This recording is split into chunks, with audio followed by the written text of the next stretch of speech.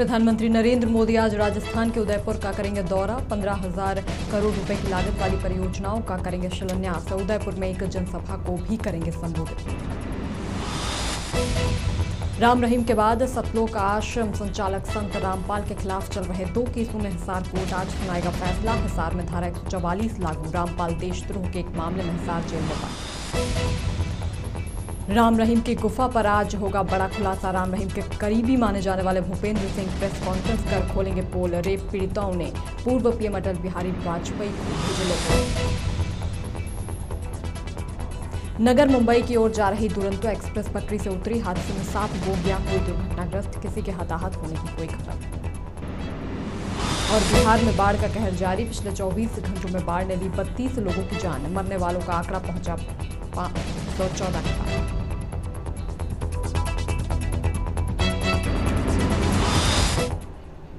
नमस्कार आप देख रहे हैं नेशन लाइव और मैं हूँ आपके साथ नेहा गुप्ता। हरियाणा के बरवाला स्थित सतलोक आश्रम संचालक संत रामपाल के खिलाफ चल रहे दो केसों में हिसार कोर्ट आज अपना फैसला सुनाएगा। इसके मद्देनजर हिसार में धारा एक लागू कर दी गई है। बीते बुधवार को संत रामपाल के खिलाफ दर्ज एफआईआर नंबर 201, 426, 427 और चार सौ के तहत पेशी हुई थी। कोर्ट ने एफआईआर नंबर 426 और 427 का फैसला फैसला सुरक्षित रख लिया था। जानकारी के मुताबिक संत रामपाल पर एफआईआर नंबर 426 में सरकारी कार्य में बाधा डालने और 427 में आश्रम में जबरन लोगों को बंधक बनाने का केस दर्ज है। इन दोनों मामलों में संत रामपाल के अलावा प्रीतम सिंह, राजेंद्र रामफल, वीरेंद्र पुरुषोत्तम, बलजीत राजकपूर ढाका को भी आरोपी बनाया गया है। बता दें कि कबीर पंथी विचारधारा के समर्थक संत रामपाल दास देशद्रोह के एक मामले में इन दिनों हिसार जेल में बंद हैं। हिसार के बरवाला में तीन साल पहले हुए विवाद के बाद उन्हें गिरफ़्तार कर लिया गया था।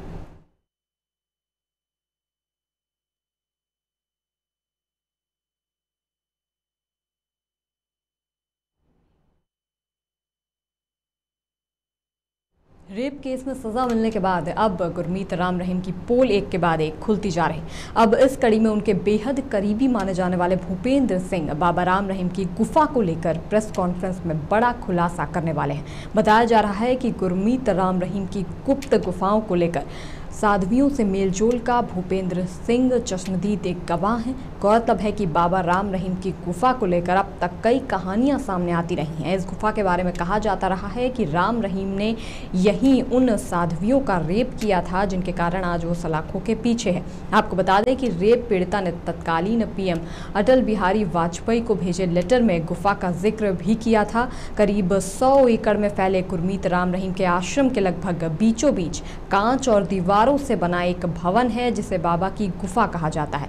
गुफा में जाने के लिए दो से तीन दरवाजे हैं, जहाँ तक बाबा की गाड़ी सीधे चली जाती है। गुफा में जाने के लिए बाकायदा पहचान और बायोमेट्रिक सिस्टम बनाए गए हैं, तभी दरवाजे खुलते हैं। पीएम नरेंद्र मोदी आज राजस्थान के उदयपुर का दौरा करेंगे। यहाँ पीएम मोदी करीब पंद्रह हज़ार करोड़ रुपए की लागत वाली सभी परियोजनाओं का शिलान्यास करेंगे, जिसके बाद वो प्रताप गौरव केंद्र भी जाएँगे, जहाँ प्रदर्शनी के माध्यम से महाराणा प्रताप के जीवन और वीरता के बारे में जानकारी दी जाएगी। बता दें कि सोमवार को मोदी ने ट्वीट किया था। मंगलवार को मैं वीरता की धरती राजस्थान जाऊँगा, जहाँ मैं प्रमुख राष्ट्रीय राजमार्ग परियोजनाओं का उद्घाटन करूँगा और आधारशिला रखी जाएगी। साथ ही उन्होंने ये भी लिखा कि मैं उदयपुर में एक जनसभा को भी संबोधित करूँगा।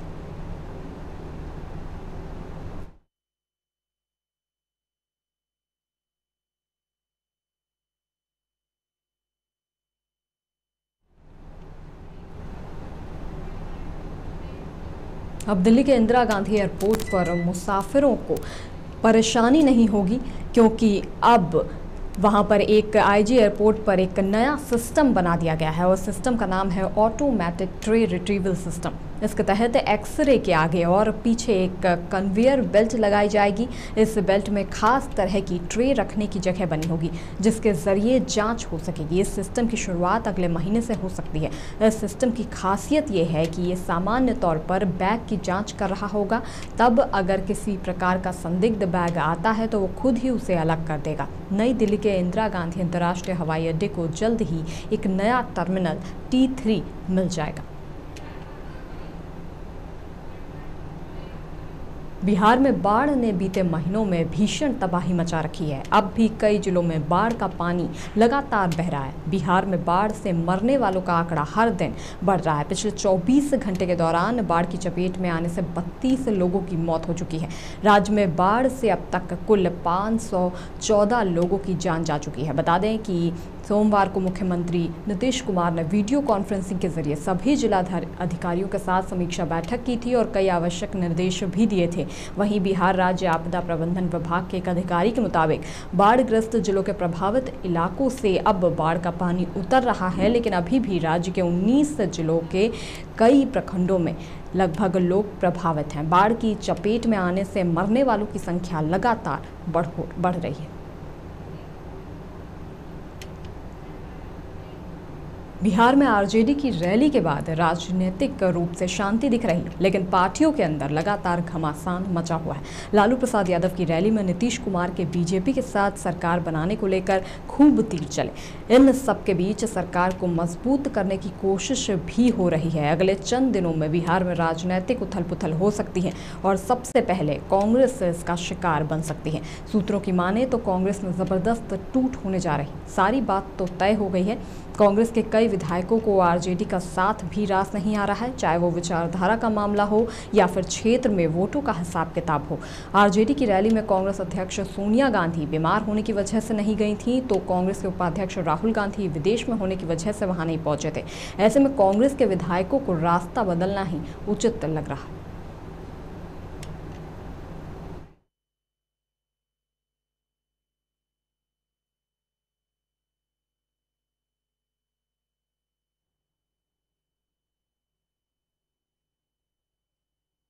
जम्मू कश्मीर के deputy CM doctor Nirmal Singh द्वारा डीसी ऑफ़िस समेत कई सरकारी विभागों का औचक दौरा करने से अधिकारियों में हड़कंप मच गया। अपने औचक दौरे में डॉक्टर सिंह ने अधिकारियों से उनके कामकाज का ब्यौरा लिया। इस दौरान उनके साथ अन्य अधिकारी भी वहाँ मौजूद रहे। वहीं मीडिया द्वारा रिफ्यूजियों से जुड़े सवाल पर उन्होंने कहा कि केंद्र सरकार द्वारा रिफ्यूजियों के लिए जारी किया गया मुआवजा उन्हें जल्द ही दे दिया जाएगा।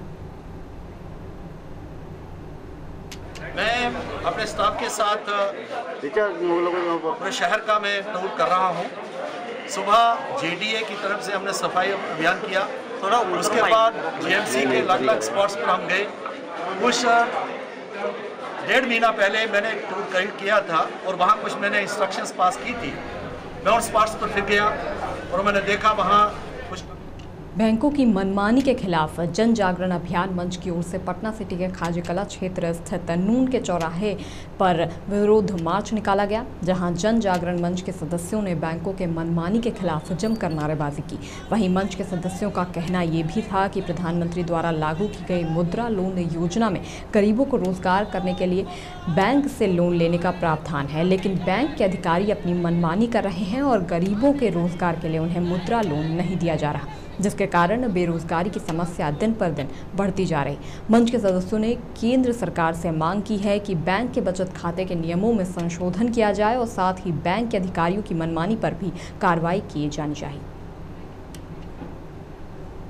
खाता में गरीब गुरबा जो कमा कर करके, रुपया दो रुपया कर करके रखता है, और इस नियम के तहत अगर साल, दो साल के बाद अगर निकालने जाएगा तो मालूम होगा कि उसके अकाउंट से प्रति माह सौ सौ रुपया कट कर करके बैलेंस ज़ीरो हो गया जो गरीबों के लिए ये बिल्कुल ही गलत आदेश है, इसके खिलाफ में आज हम लोग देशव्यापी आंदोलन शुरू करने जा रहे हैं। यहाँ रुक रहे हैं, एक छोटे से ब्रेक के लिए चल लौट रहे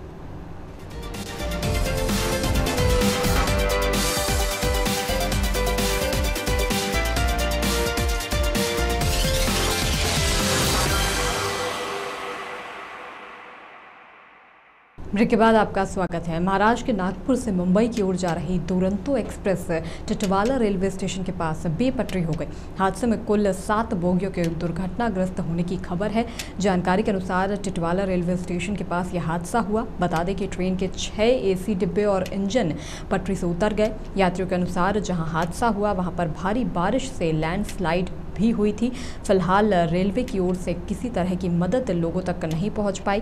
ये घटना टिटवाला और असन्न गाँव के बीच हुई है और किसी के हताहत होने की भी कोई खबर नहीं है।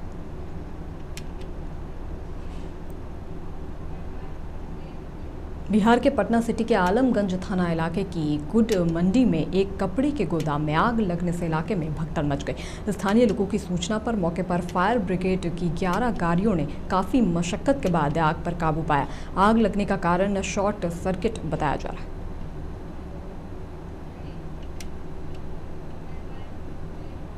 यूपी के एटा में एन एच इक्यानवे पर तेज रफ्तार रोडवेज़ बस अनियंत्रित होकर खड़े ट्रक में जा घुसी, जिसमें बस से के कंडक्टर समेत 11 लोग गंभीर रूप से घायल हो गए। घटना की सूचना मिलते ही मौके पर पहुँची पुलिस ने सभी घायलों को जिला अस्पताल में भर्ती करवाया, जहाँ तीन लोगों की हालत नाजुक होने के चलते उन्हें आगरा रेफर कर दिया गया। हादसे के बाद बस चालक मौके से फरार हो गया।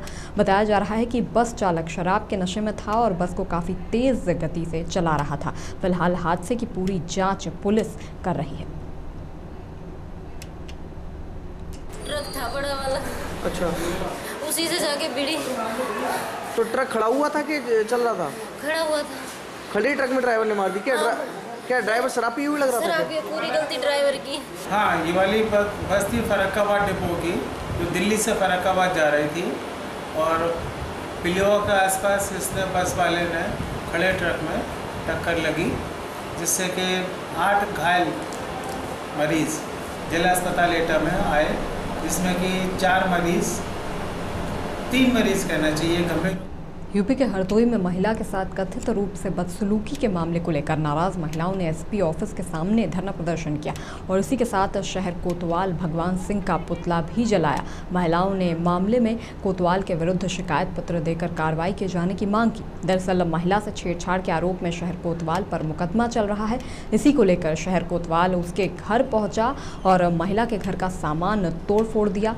उसके बाद महिला के साथ मारपीट भी की। इसके बाद जब पीड़ित महिला ने आंगनबाड़ी कार्यकर्त्रियों को बताया, तब जाकर कोतवाल ने महिला और उसके विकलांग बेटे को छोड़ा। इसी को लेकर महिलाओं ने पुतला जलाकर शिकायत एसपी से की, जिसके बाद मामले की जाँच सीओ को सौंप दी गई। को इनके घर में पुलिस सुबह सुबह नौ बजे घुसी और इनके घर में तोड़फोड़ की, इनको मारा पीटा भी और उसके बाद में बुला के लिया तुम्हारे लड़के से बातचीत करनी, जबकि लड़का इनका मेंटली डिस्टर्ब है, उसका दो साल से इलाज चल रहा है। और उसके बाद में लड़के को लेके आए, बाद में इनसे कहा, तुम भी थाने आना। फिर जब ये थाने नहीं गई तो दोबारा पुलिस तीन बजे गई और इनको वहाँ से पकड़ के ले आई, कही, चलो, अब जेल भेजते हैं, तुम्हें पता चलेगा। थाने पर। एक लड़का है तो चोरी में जेल गया है तो उनका ये कहना है लोगों का कि उसको फर्जी जेल भेज दिया गया है। और इसके पहले उसका क्रिमिनल हिस्ट्री भी इस विषय में लोगों का कहना है कि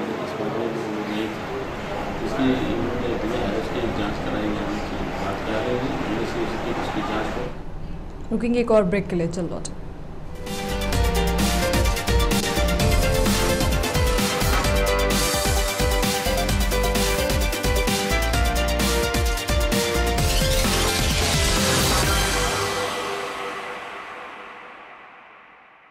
ब्रेक के बाद आपका स्वागत है। यूपी के सहारनपुर के थाना रामपुर पुलिस व स्वाद टीम ने मिलकर एक लूट की सूचना पर घेरेबंदी की। बता दें कि पुलिस और बदमाशों के बीच हुई मुठभेड़ में एक बदमाश के पैर में गोली लगी और उसे गिरफ़्तार कर लिया गया। लेकिन दूसरा बदमाश मौके से भागने में कामयाब रहा।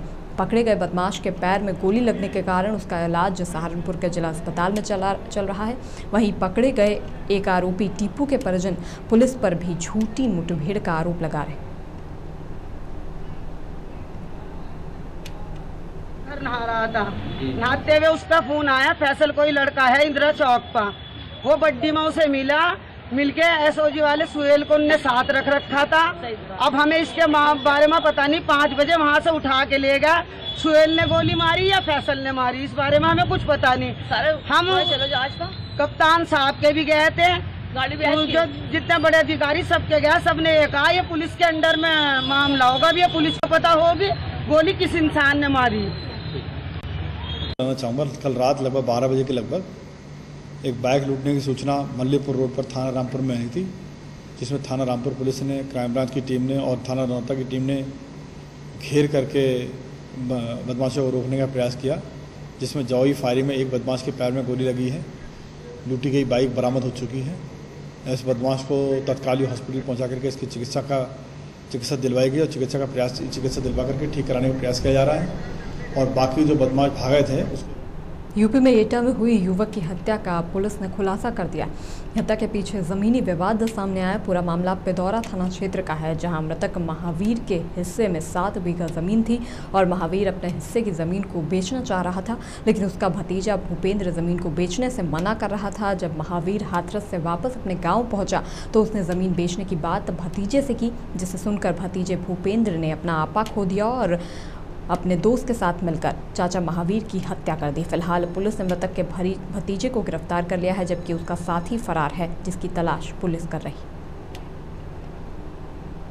मारारा थाना क्षेत्र में 26 तारीख को एक अज्ञात शव बरामद हुआ था, जिसमें हत्या का कारण स्पष्ट नहीं हो रहा था। मारारा पुलिस ने सराहनीय काम किया, इसमें बहुत तेज़ी से विवेचना करते हुए इसमें अभियुक्त को गिरफ्तारी कर ली है, जिसमें उसका मृतक का सगा भतीजा ही, उसका मुलजिम है ने स्वीकार किया है कि सात बीघा ज़मीन दोनों भाइयों के पास है मतलब मृतक के पिता और मृतक के भाई और मृतक के पास जिसमें वो मृतक इसको बेचना चाहता था, उसके घर वाले ने इसको रोकना चाहते थे रोक नहीं रहा था। इसी बात को इसी बात को मनाने के लिए या अपने फेवर में करने के लिए इसने जहाँ एक तरफ़ यूपी के सीएम योगी आदित्यनाथ ने पूरे उत्तर प्रदेश में बिजली व्यवस्था को सही रूप से चलाने के लिए नए नियम बनाए हैं। वहीं दूसरी तरफ़ खुद उनके ही अधिकारी उनके इस नियम को ताक पर रखकर बिजली की लापरवाही कर रहे हैं। ताज़ा मामला गाजियाबाद के सिहानी गेट अंतर्गत नंद ग्राम का है। जहाँ पर बिजली घर में जूनियर इंजीनियर के ऑफ़िस में उस वक्त सारे बिजली के उपकरण चालू मिले जब उसमें कोई नहीं था। जहाँ एक तरफ़ बिजली चोरी करने वालों के खिलाफ सरकार कड़े एक्शन उठा रही है तो वहीं दूसरी तरफ़ खुद ही अधिकारी बिजली को वेस्ट करते हुए नज़र आ रहे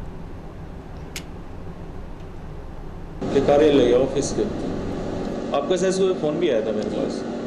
मैंने उसी टाइम उससे बात की थी, मैंने, क्या है? किस वजह से है ये? उसने मुझे बताया कि साढ़े सर, साढ़े नौ बजे के आसपास के केयर टेकर ने उनका केबिन खोला था, वही साफ़ सफ़ाई नॉर्मल पूजा वूजा करने के लिए पूजा वूजा की और उसको बोला कि भाई मैं पाँच मिनट में आ रहा हूँ। तो हो सकता है उस वजह से उसने ऑन वन कर दिया हो। बाकी आगे के लिए उसे चेतावनी दे दी जाएगी, उसकी गैर मौजूदगी में अगर ऐसा कुछ हो रहा है। मथुरा प्रशासन ने ज़िले में पॉलीथीन के इस्तेमाल को पूरी तरह से बंद करने के लिए अब कमर कस लिया है। उच्च न्यायालय की ओर से मथुरा वृंदावन में पॉलीथीन पर प्रतिबंध को लेकर जारी आदेशों का हवाला देते हुए नगर आयुक्त ने बताया कि प्लास्टिक बैग्स का इस्तेमाल पूरी तरह से बंद करने के लिए प्रशासन की ओर से जाग, जागरूकता अभियान चलाए जाएँगे, जिनमें दुकानदारों और लोगों से पॉलीथीन का इस्तेमाल ना करने की अपील की जाएगी। वहीं उन्होंने निर्देशों का उल्लंघन करने वालों के खिलाफ चालान की कार्रवाई करने की भी बात कही। नगर आयुक्त ने बताया कि स्वच्छ भारत अभियान सफल हो, इसके लिए साफ़ सफ़ाई का जायजा लेने के लिए समय समय पर औचक निरीक्षण भी किया जाएगा। नगर निगम मथुरा वृंदावन के द्वारा माननीय सुप्रीम कोर्ट, माननीय एनजीटी और हाई कोर्ट और शासन के आदेश अनुसार हम लोग अभियान चला रहे हैं, जिसमें कि प्लास्टिक का कैरी बैग पूर्णतया प्रतिबंधित है।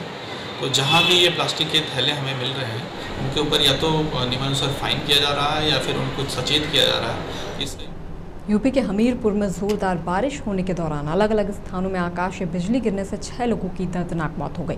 वहीं एक दर्जन से अधिक लोग गंभीर रूप से घायल हो गए। घायलों को इलाज के लिए विभिन्न अस्पतालों में भर्ती कराया गया। तो वहीं घटना की जानकारी मिलते ही जिला प्रशासन में हड़कंप मच गया। हालाँकि प्रशासन की ओर से कोई अधिकारी पीड़ितों से मिलने वहाँ नहीं पहुँचा। आए थे हम लोग तो एक लड़का हम खड़े थे वो लड़का रिया के रिया के पेड़ पे खड़ा था। हम छाता लगाए दूर खड़े थे। तो उससे फिर एकदम बिजली गिरी हम नीचे के खड़े थे तो एकदम हमारी आँखी में गई हमें कुछ नहीं दिखाई दे रहा था। हम लड़का को लौट के हेरे तो लड़का चारों तरफ़ से बड़ा पसार डरा था वो एकदम भाग पड़े वहाँ से। क्या हुआ? आई खबर तो मिली है, एसडीएम हमीरपुर के क्षेत्र में पाँच लोगों की जनहानि की खबर है और एसडीएम सरीला के क्षेत्र में एक लोगों की जनहानि की खबर है और तीन लोग एसडीएम सदर के क्षेत्र में घायल होने की खबर है। ये जो है, इसमें एक बरुआ से खबर है, एक उस्मरा से, एक सिकरोड़ी से, दो पचखुरा बुज़ुर्ग से। एक एसडीएम सरीला के क्षेत्र में है। कुछ छः लोगों की मृत खबर है, लेकिन ये भी मृत्यु की खबर है, लेकिन इसकी पोस्टमार्टम रिपोर्ट कराई जाएगी। पोस्टमार्टम रिपोर्ट में जब क्लियर होगा कि नहीं, बिजली गिरने से तब इनको नियमानुसार जो भी दैवीय आपदा के तहत सहायता यूपी के बलिया में अपनी मांगों को लेकर छात्र संगठनों द्वारा छात्र कर्फ्यू के दौरान प्रदर्शन कर रहे छात्रों और पुलिस के बीच नोकझोंक हो गई। काफ़ी प्रदर्शनकारी छात्रों को गिरफ़्तार भी कर लिया गया। बता दें कि छात्र संगठन छात्र नेताओं पर दर्ज मुकदमों और पूर्व में गिरफ़्तार छात्र नेताओं को गैर जनपद की जेलों में शिफ्ट किए जाने का विरोध कर रहे थे। तो वहीं छात्र नेताओं का आरोप है कि बलिया पुलिस ज़िले के मंत्री उपेंद्र तिवारी के इशारे पर काम कर रही है और छात्रों पर फर्जी मुकदमे मंत्री के इशारे पर किए जा रहे हैं।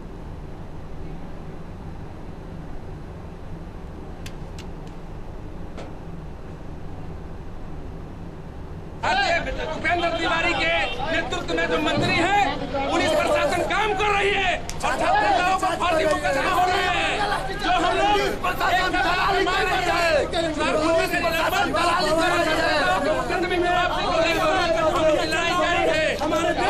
तो है। यहाँ छात्र कर्फ्यू का जो है उद्घोष कर रखा है और बाज़ार को बंद कराने का प्रयास कर रहे हैं अराजकता फैला रहे हैं।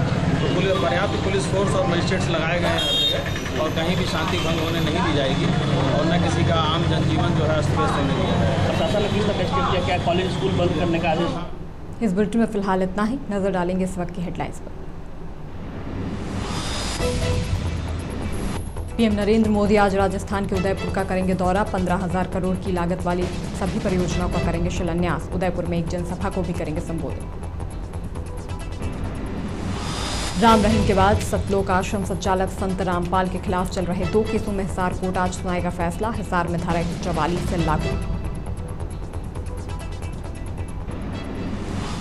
राम रहीम की गुफा पर आज होगा बड़ा खुलासा। राम रहीम के करीबी माने जाने वाले भूपेंद्र सिंह प्रेस कॉन्फ्रेंस कर खोलेंगे पोल। रेप पीड़िताओं ने पूर्व पीएम अटल बिहारी वाजपेयी को भेजे लेटर में गुफा का किया था ज़िक्र। नागपुर मुंबई की ओर जा रही दुरंतो एक्सप्रेस पटरी से उतरी। हादसे में सात बोगियाँ हुई। दुर्घटनाग्रस्त किसी के हताहत होने की कोई खबर नहीं। और बिहार में बाढ़ का कहर लगातार जारी। पिछले 24 घंटों में बाढ़ ने ली 32 लोगों की जान। मरने वालों का आंकड़ा पहुँचा 514 के पार। कई जिलों में प्रलय लगातार जारी।